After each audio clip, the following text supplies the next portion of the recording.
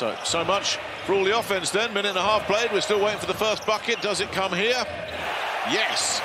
Lorenzo Brown opens the scoring. Moerman, we all know what he's done the last two seasons. He sent it back. Strazel will take a big triple on and uh, the outlet pass is there and there's the throwdown in transition. Jarell Martin off the beautiful pass. It's uh, Rafi Menco under pressure sending it back. Poythress with a lovely flip out to uh, Baldwin and it'll be taken on by Lorenzo Brown. There's a sign of confidence. There were a lot of options available there to Monaco and he decided to take the three on. Nothing doing there for Adams in terms of the foul, so he has to bank the, the pass. Colson takes it to the bank as well.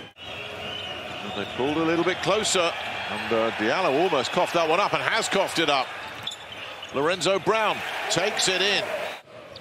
Inbound to Baldwin. Baldwin. Some past that, and it's got somehow through to Adams, and Adams finds Sorkin, and that is the way you want to finish the half. And Maccabi who were really flat. I think that they trailed by 19 at one point. Here's Martin taking it on in front of John Brown, who's just there to pick his pocket once again. Here comes Jordan Loyd on the fast break, and that's not back. Oh, my goodness me. But uh, have a look at this. Pinned back beautifully there. Poythress with the hustle. Knocks that back off the glass. On the floor for the home side as we go into this final 10 minutes. Under pressure, Baldwin collects that. DiBartolomeo will take on one from the point and sink it. A huge triple from the Maccabi skipper. I think it went as wide as 19, but just look at what Maccabi have done at the end of the third and the start of the fourth. We're going to see some more lead changes. I suspect we will before this one is done. Colson sends it back. Baldwin for three. There's another lead change right there. Maccabi back in front with another triple.